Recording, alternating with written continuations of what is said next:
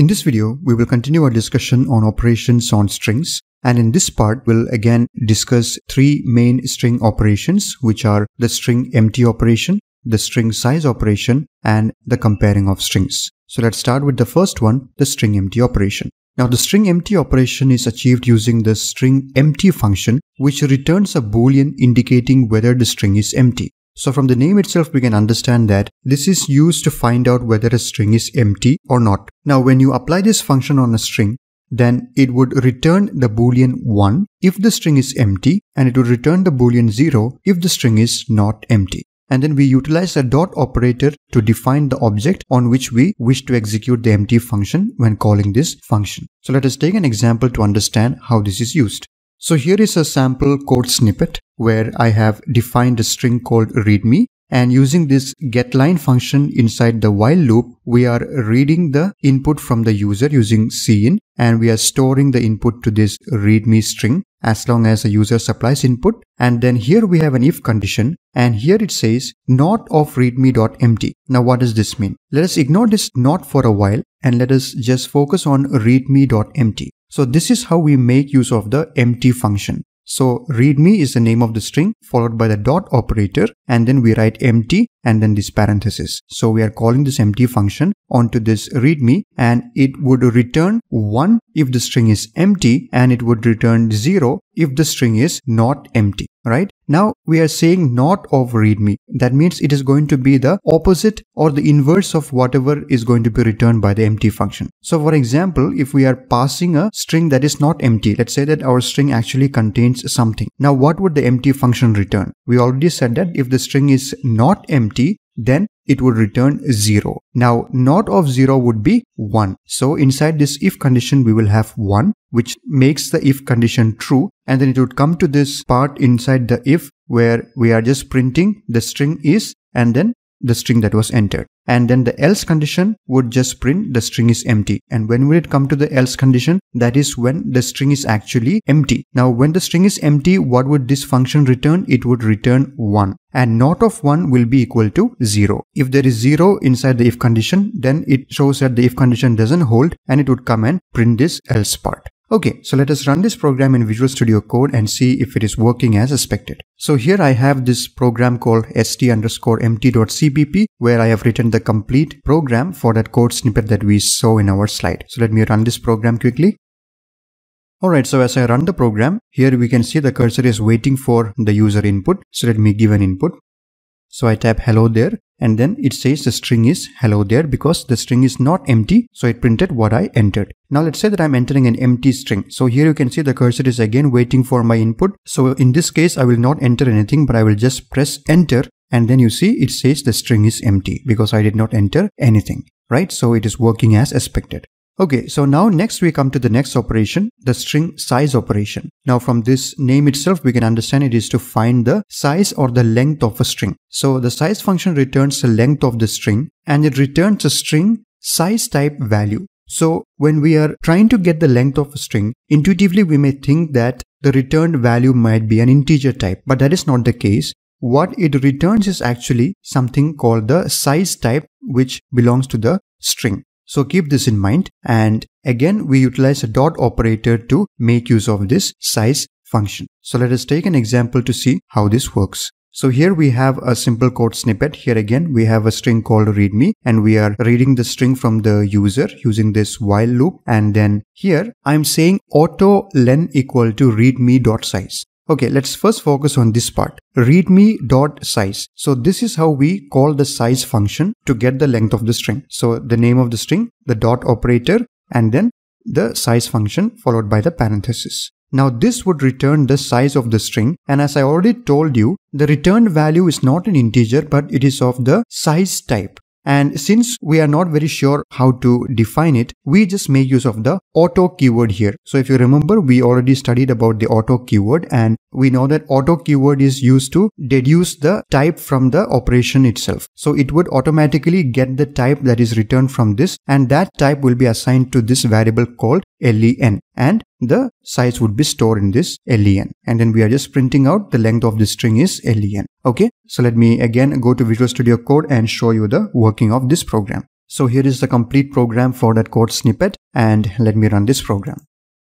Okay, so the name of the program is sdsize.cpp as you can see here. Now as I have run it, you can see it is waiting for the input from me. So let me enter an input here. So I enter hello and I press enter and it says the length of the string is equal to 5 because it has 5 characters in it. Let me enter another string here and you can see now it says the length of the string is equal to 12 and notice that it also counts the white space which is there in between. That is why the length is set to be 12 now if i just simply press enter without entering anything it says the length of the string is 0 so we see that this is working as expected.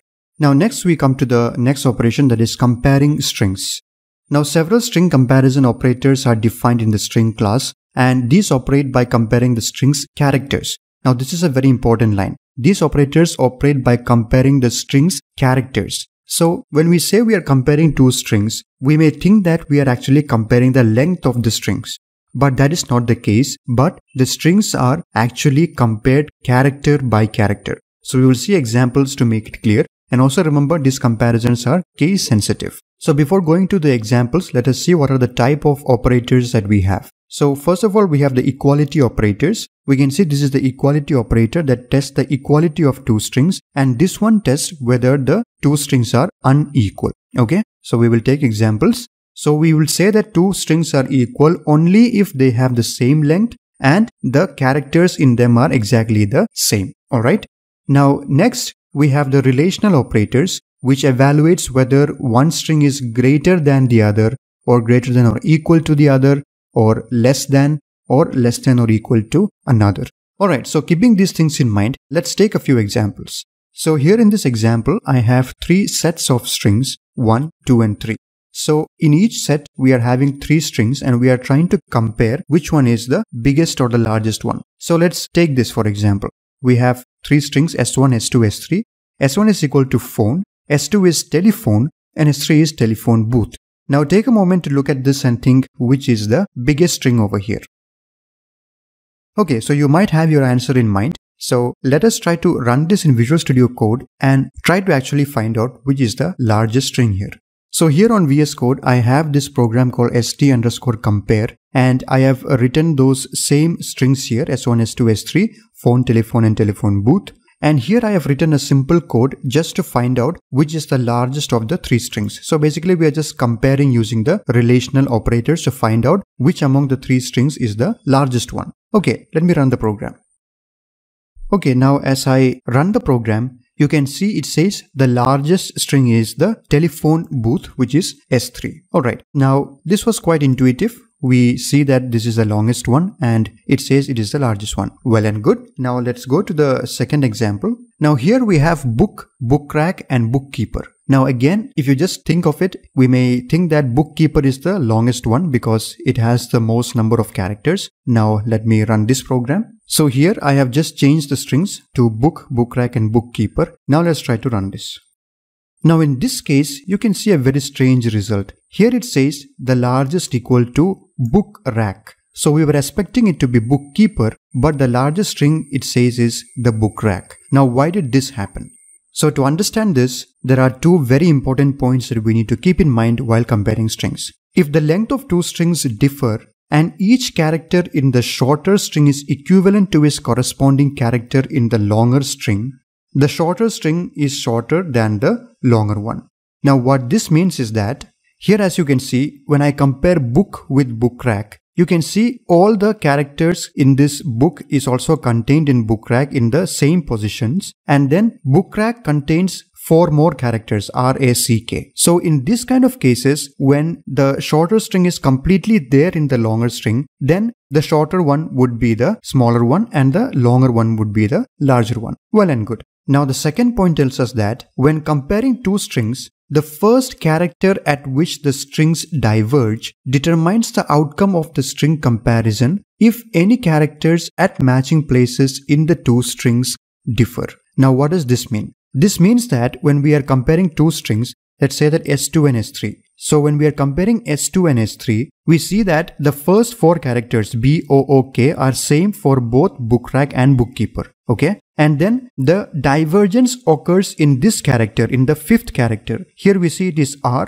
Here we see it is k. So this is where the difference or the divergence takes place. Now here the comparison works in such a way that it would compare these two characters and find out which is the larger character. So we know alphabetically R comes after K. So R has a greater ASCII value than K. So it would consider this R to be greater and it would consider this entire string to be greater than this string. So that is what happened here. Since r is greater than k and since this is where the change or the divergence occurred, this book rack is considered bigger than the bookkeeper. So coming back to our program, we can see first of all I'm trying to compare S1 and S2 and then whichever is the largest of them that I compare it with S3. So when book and book rack was compared we saw that book rack is the larger one according to point number 1. But when book rack and bookkeeper was compared according to point number 2 book rack is the larger one. So that is why book rack is said to be the larger string. Okay, now if that is the case, take a look at the third example. We have grape, grapefruit and gym. So think about it. Take a pause for a while if you want and then try to determine which will be the largest string in this case. Okay, let us run it in Visual Studio Code and find out. So here I have grape, grapefruit and gym. So if you have been following it correctly, you must have already guessed it that in this case, the largest string is gym right? So how did this happen? When grape and grapefruit is compared, we see that grape is contained exactly inside grapefruit just as it is and this grapefruit has its extra strings fruit so because of that grapefruit is a larger one but when grapefruit and gym is compared we see that G and G they are the same and then the divergence occurs in the second character. There is R here, there is Y here. And we know that Y comes after R alphabetically. So Y has a greater value as compared to R. So that is why gym would be considered as the larger string in this case. So that is why the largest string among these three is gym. Alright, so these two are very important points that we have to keep in mind while comparing strings and it could be a tricky question that you may get to answer in interviews or during your tests.